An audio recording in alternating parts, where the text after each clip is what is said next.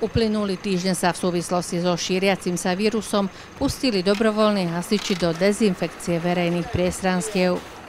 Žiarskí dobrovoľní hasiči si obliekli špeciálne obleky a začali s dezinfekciou frekventovaných miest.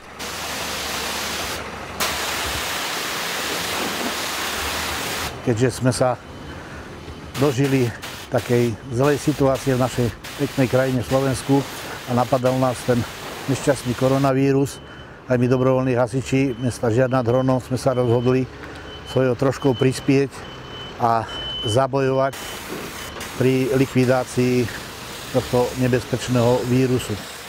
Aby mohli robiť dezinfekciu stoisk, požičali si od mestských technických služieb potrebnú techniku.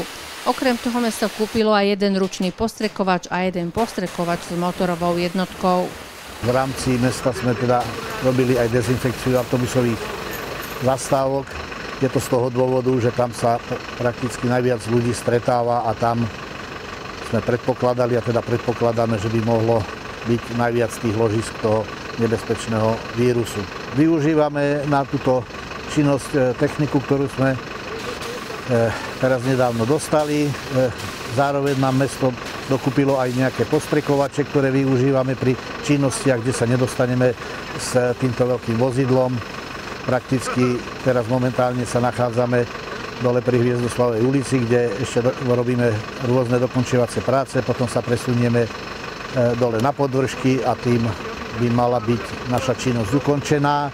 Po nejakej dobe sa tento postrek musí zopakovať, čiže prakticky na druhý týždeň nás zase budete môcť vidieť v uliciach mesta a budeme vykonávať ďalšiu dezinfekciu týchto priestorov.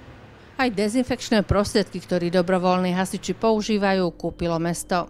Ktoré my už v potrebnom pomere s vodou si riedime, nemusia sa spolupčania báť na ľudský organizmus, pokiaľ ho vo väčšom by niekto ne, eh, požil, eh, neškodí. Po určitej dobe vyprchá a ľudia sa môžu dotýkať aj tých zámkov na tých stoiskách, aj eh, vík na kontajneroch môžu sa bez obav toho dotýkať. Takáto dezinfekcia sa bude robiť v meste opakovane. Minulý týždeň počas tejto práce zažili dobrovoľní hasiči aj mimoriadnu situáciu, keď ich privolala obyvateľka k pánovi, ktorý spadol na chodníku a silno krvácal z hlavy.